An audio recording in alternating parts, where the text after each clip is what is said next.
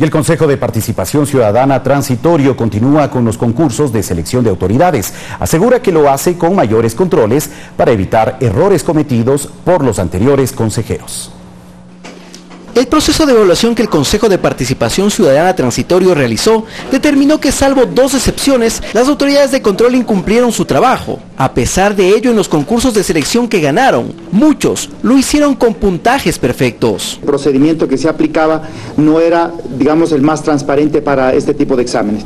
Y también que los sistemas informáticos se prestaban para cualquier cosa. Errores que no piensan repetir y por lo cual se ha buscado mecanismos más transparentes, principalmente a la hora de preparar los bancos de preguntas que se propondrán a los candidatos de los cinco concursos que lleva adelante el organismo. Los académicos no se van a llevar las preguntas ni las respuestas, las van a elaborar ese mismo día en un solo computador que quedará, además quedará en custodia y lo, abrirán únicamente el día que corresponde al examen. Este miércoles, por ejemplo, se conocieron los nombres de los académicos que elaborarán las preguntas. No obstante, no se dio a conocer cuál será el concurso para el cual realicen el examen. Para evitar que los postulantes puedan hacer acercamientos. Lo que le he pedido a los candidatos, que no se quejen, que no se palanqueen.